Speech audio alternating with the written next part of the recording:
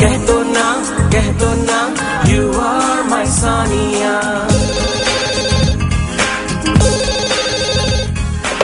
hello is this Shoaib नहीं फूलन देवी बात कर रही हूँ। कैसी हो सानिया? बिल्कुल वैसे ही हूँ जैसी टीवी पे नज़र आती हूँ।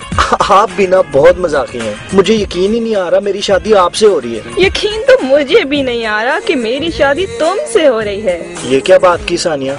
वही जो तुमने की एक जैसी बात मतलब अंडरस्टैंडिंग ये बहुत ज़रूरी है। व्हाट अंडरस्टैंडिंग हम शादी कर रहे हैं या रनिंग बिटवीन द विकेट्स खैर शुएब मुझे ये बताओ कि शादी का तोहफा क्या दोगे?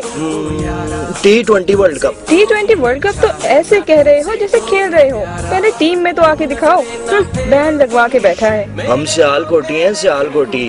खेले या ना खेले बनाते हम ही है। Tennis ball football cricket ball बनाते सियालकोट में हो और खाते ऑस्ट्रेलिया में हो। वाह भाई वाह।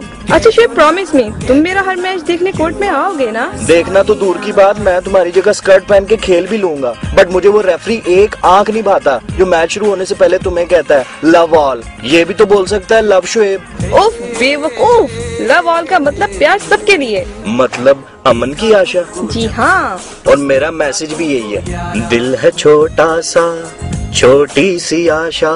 मस्ती भरे मन की मोटी सी आयशा